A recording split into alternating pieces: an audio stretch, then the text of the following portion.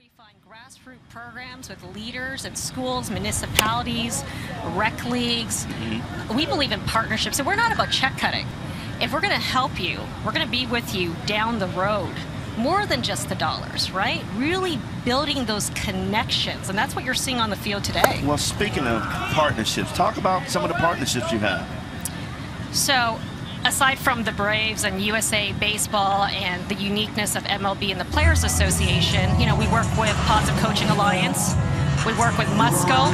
They give us a great discount. These lighting projects are really expensive, but they help us out in great ways. We have a great uh, measurement and evaluation. I know that sounds a little boring, but how do you measure the return on investment, the social business intelligence of our sport? So we use an organization called Hello, Hello Insights, and, and they're pretty fantastic in crunching the numbers and teaching us more about how do we do better in these communities and how do these community leaders learn from each other mm-hmm. as well.